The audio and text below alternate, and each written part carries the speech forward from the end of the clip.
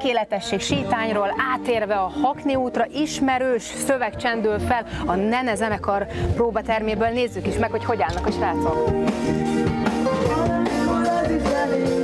Hogyan álltok akkor a dallal? Ha százalékban kéne kb. megfogalmazni, akkor hány százalékos most? Szerintetek? 50? Várjál, itt azért nem volt az egyetértés meg, de egy százalékot mondtál, te pedig 80-at, ott azért. Úgyhogy, hát igen, különbözőek vagyunk a zenekarban.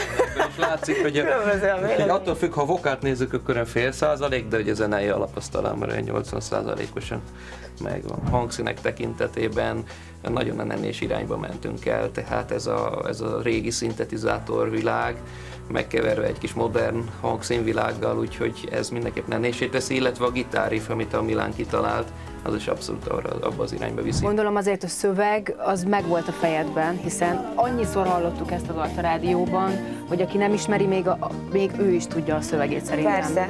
Igen, egyébként ö, így refrénügyileg nincs is annyira vele bajom a szöveggel, mert az már benne volt a fejemben eleve, hanem inkább ezzel a hova helyezi a Janó azt a, azt a hangsúlyt azzal, azzal gyűjt meg a bajom, de meg lesz.